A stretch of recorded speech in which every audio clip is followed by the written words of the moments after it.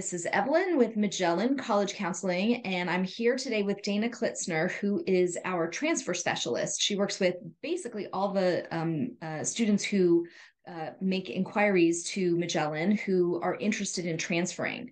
Um, and she's worked with students who've transferred from a community college to a four year, including UC's, Cal State's, and private and out uh, outside of California uh, public uh, universities. And also, she's worked with students who've transferred from a four year to another four year. So, we're going to kind of divide the conversation into two parts.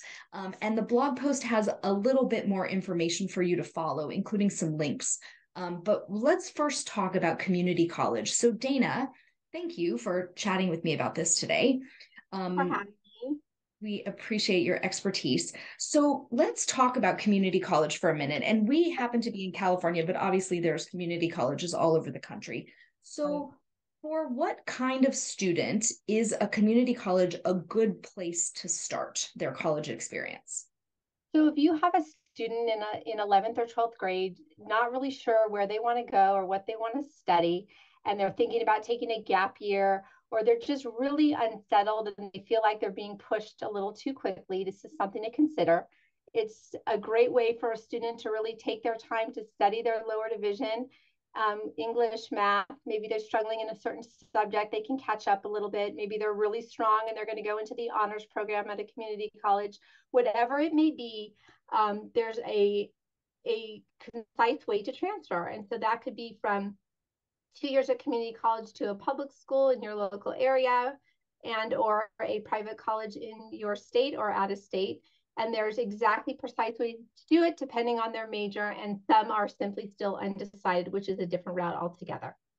So some community colleges in california have um, a better reputation than others for transfer success rate. But many of the community colleges that i've seen students go through um, it's very difficult for them to get the credits they need in the time that they think that they expect um, to complete those credits in. Why is that? It is. Um, some it depends on the major first and foremost. Sometimes it's impacted in the class they don't have enough classes offered. So then you go from community college to community college, meaning you can be one college full time and taking a class at another local community college nearby um, there's a there's a will there's a way it's still very possible and very comfortable to accomplish you know the task at hand it's just a matter of juggling a little bit and getting the right advice as well Yep. Is um I, don't work with mo- transfer students anymore really. So um there used to be a website that would help you at least if you're transferring in California that would help you determine which classes would successfully transfer. Is is there still a resource like that? There are resources like that, but mo- first and foremost, because the most important aspect of this whole thing is to get a hold of an IGETC form, which is at, at each community college. They're a little bit different at each community college depending on the course number. So okay. you have to just take a look at that.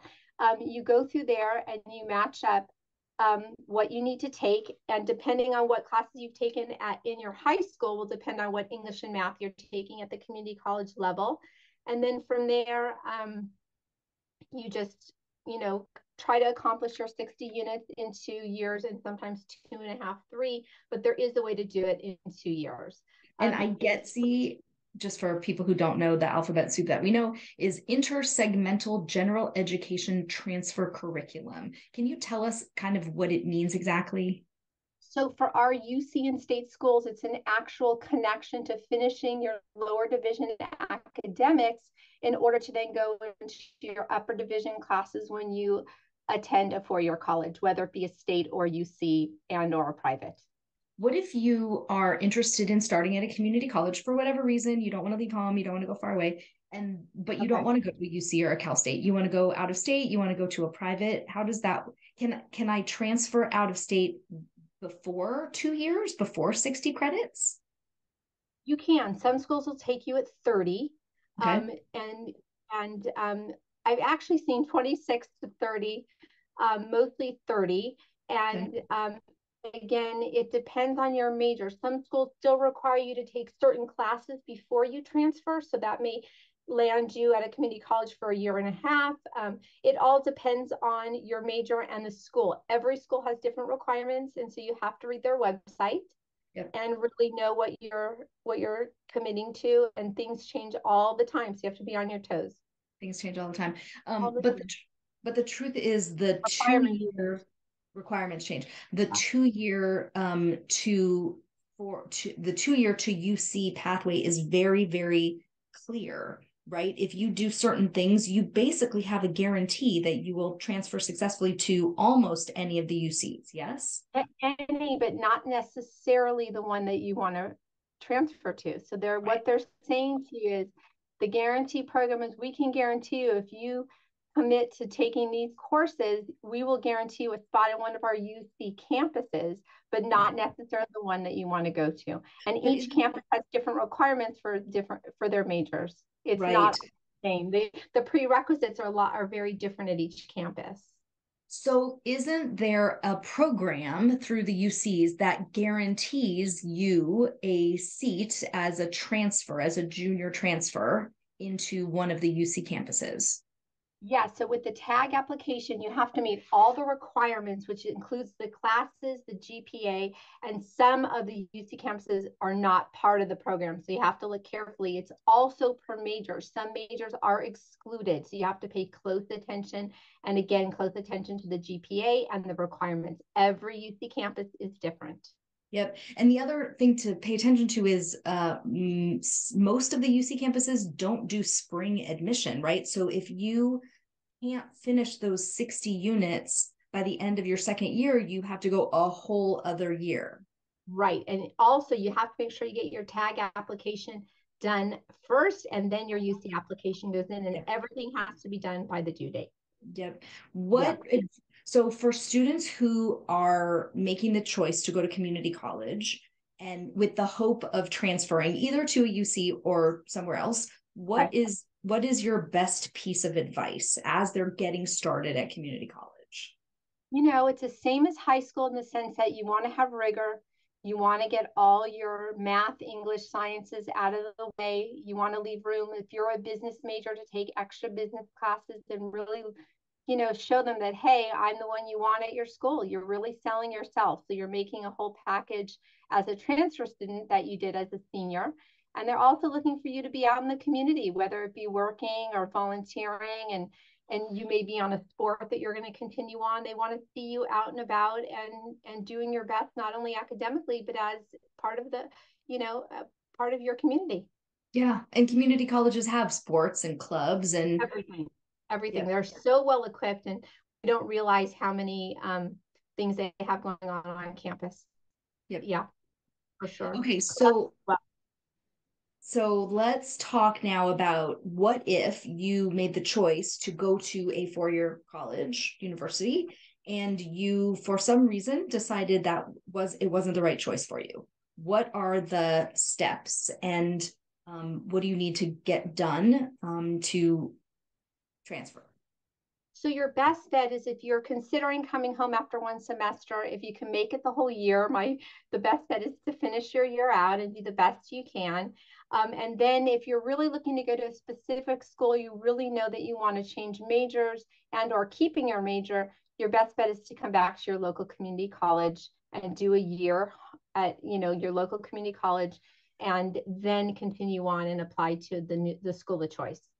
Um, what that is that that's if you're interested in applying to a UC or a Cal State. Is that what you're saying? You know, that's actually if you're interested in applying to any school of it, it really that's the best bet for any school. But if you also want to go from four year to four year, yeah. um, you just know that it's a little difficult in the sense that as long as you have a good GPA, you'll get accepted somewhere, but you're going to lose a lot more of your college units ah school has different classes for different majors and different you know lower division requirements. And so not all of your um, units are going to transfer. Not everything will transfer. Okay. You end up being like a, you end up being a fifth year senior unless you take summer school the rest of your the duration.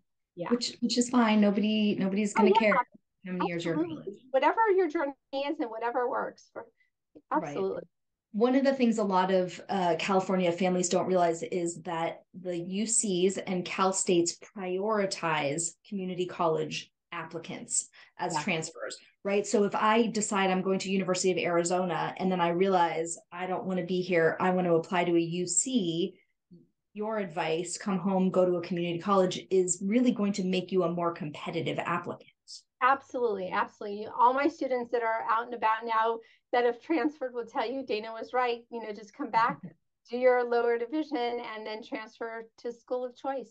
And again, it's not just applying to one or two. You really need to apply to 10 to 12 to 15 schools to be able to have a couple of choices because it's so busy in the transfer sector. It's very yeah. busy. A lot, of, a lot of students are taking that route. A lot of students moving around. Um, yeah and and go back to um, we we get a lot of calls in October uh, and sometimes November from parents whose students just started at the four year college or university they chose. They were excited about it six months before. Mm-hmm. They you know got there. They're not making friends. Something's going wrong. The academics are not what they expected. Why is your advice to stick it out for a full year if you possibly can?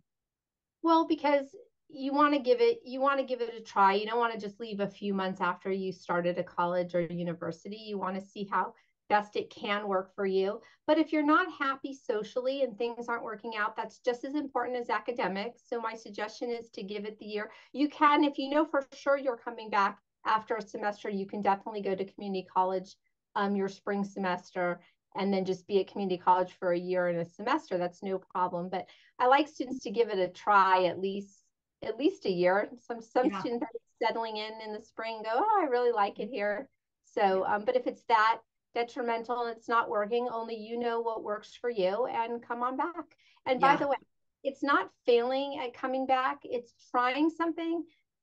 Didn't really know myself, learning to know myself, and making a change. That's all it is. Parents get all ups, all upset and worried, and there's no need to no need to worry about it. It's a it's and a no need to cons- consider it a failure. That's that's absolutely. Yeah yeah. And, and i have to say i got a call last year in october from a parent of a freshman. Um, it was like mid october so she'd been there maybe a month and a half maybe seven weeks. And they were like oh my gosh she's not making friends. She's so unhappy. Um, we need to talk about transferring. And i said do me a favor. I said let's let's just wait till the end of the semester. Let's just get through the semester and guess what? I never heard back from them. So she's she's she's doing okay. some some students takes a little extra time to settle in. I just had a student transfer from u of a to chapman and she ended up staying the whole year but she's still transferred she's still transferring to chapman this fall. And she said she ended up making some really good friends and they're traveling together this summer but she still wants to leave. And you know it's like so she made a ton of friends and that's super important for young adults you know? Yeah it's very true. It's very true. Um you love working with this particular um, segment of the applying group. Why is that? You know it's um, they're learning about themselves and it's just so much fun to be on that road with them and just i i learned so much from them and you know it's just um, it's just a great age. Development and social it's just so much fun and i think because my kids are grown and they're out of the house and i feel like i have babies every year. I think it's you know that much fun. They're my, they're all my babies and then they keep in touch with me and tell me that they're happy and successful and just thriving. It makes me so happy. That's great. That's great. Um, all right. Well we've put much more information in this blog post but we hope that that answers some of the questions you have about transferring. Um, thank you dana for sharing your advice with us. You have one more piece of advice you want to throw out? No just for parents not to worry and relax and let the process play out. And there's always little bumps in the road, but it's just a time for your student to grow. And if there's any questions, I'm here. Fabulous. All right. And we'll put the information about how to contact us at the bottom of the post. Great. Fabulous. Thank you. Thank you.